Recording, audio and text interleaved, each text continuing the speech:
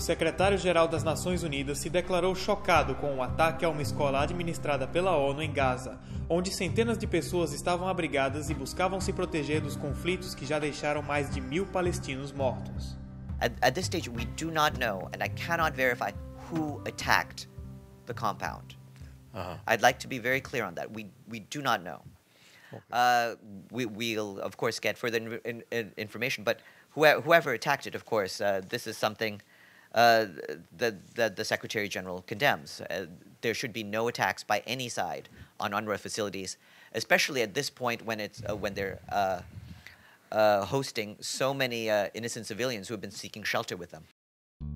Relatos da mídia informam que pelo menos 15 pessoas morreram no ataque à escola, que era administrada pela UNVA, Agência da ONU de Assistência aos Refugiados da Palestina. Atualmente, mais de 170 mil pessoas foram desabrigadas pelas lutas na região.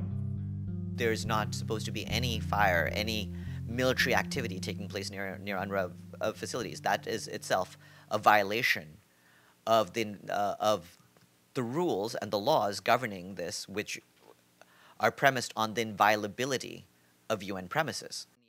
Ainda de acordo com o porta-voz, a UNVA enviou uma equipe de profissionais, incluindo um especialista internacional em armamentos, para inspecionar o local do ataque. Entretanto, todos foram forçados a abandonar a área após disparos terem sido ouvidos próximos à escola. The mission had to be cut short and the team was forced to leave the area after gunfire around the school.